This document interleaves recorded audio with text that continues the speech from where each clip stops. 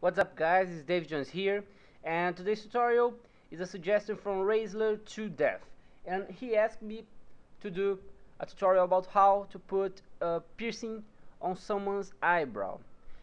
Uh, this tutorial is about like uh, putting any piercing on any part but I'm going to use an eyebrow piercing.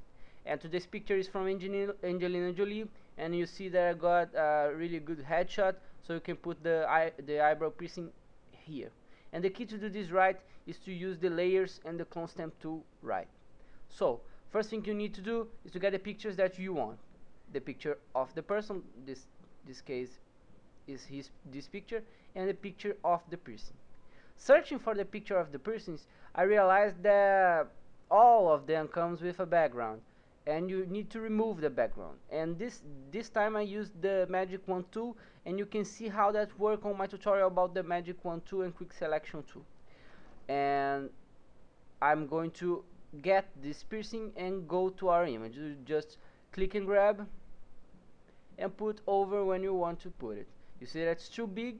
We are going to reduce this its size so it's more right and okay here is good.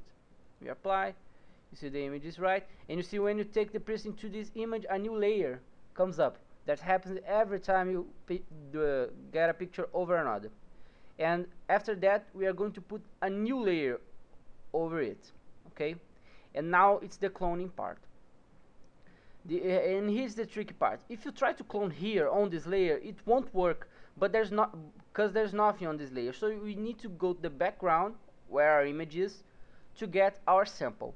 So we get the clone stamp tool we get our sample here and we pass over it on the layer that our piercing is. You see? Let's do it again. And you do it until it's you think it's perfect. Okay? Another time. Just to finish hmm.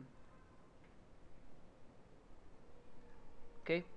And you see that it's under the skin now it's really nice. And now we go back to the layer where our piercing is. This time is this layer 1 and we're going to get the blur tool. And I'm going to blur the image to make her more blended with the skin okay? That's fine.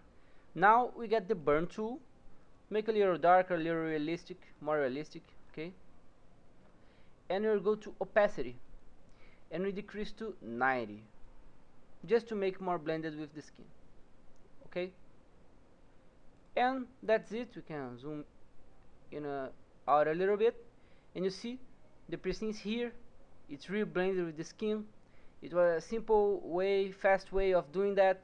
You can all wor works more with another kind of picture another kind of piercing but that's it.